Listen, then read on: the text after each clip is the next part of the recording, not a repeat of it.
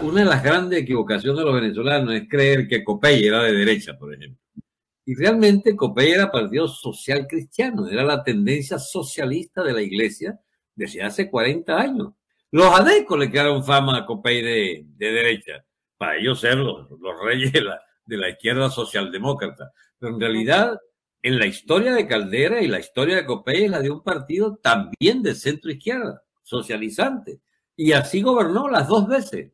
Fíjate que los dos grandes acuerdos con la izquierda que hubo fue entre los dos gobiernos de Caldera. La primera que hay lo que llaman la pacificación, que vuelven de las guerrillas y, Caldera los incorpora al sistema democrático. Y la segunda vez es en, después del, del cipotazo de Chávez, que con el chiripero, chiripero eran todos los partidos izquierdistas de digamos, de, que están en el sistema democrático, pero eran socialistas todos. Caldera los reúne a todos, rompiendo él con su partido, y los reúne a todos como plataforma electoral y monta Caldera el segundo gran acuerdo de pacificación después de lo de febrero, etc.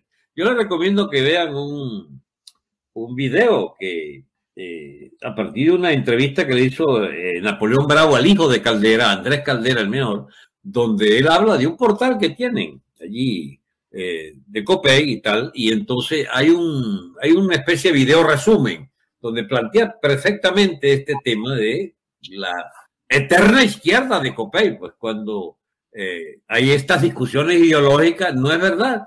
Y, en última instancia, la raíz de esto es Vaticano II, es la, la doctrina social de la Iglesia, es la, la propuesta distribucionista de los curas de la iglesia en esta era postconciliar, es la llamada teología de la liberación.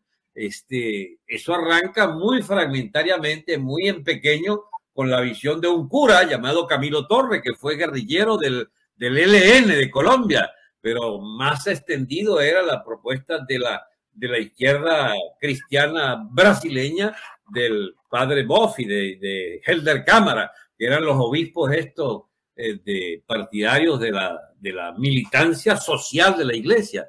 El gobierno socialista de la iglesia es Goulart y es, digamos, después el retorno con el PT. Eh, el Partido de los Trabajadores de Lula, su origen es la Iglesia Católica, las llamadas comunidades de base. Estas cosas son muy, muy, muy conocidas en el Cono Sur. En Venezuela estamos como fuera de esos circuitos.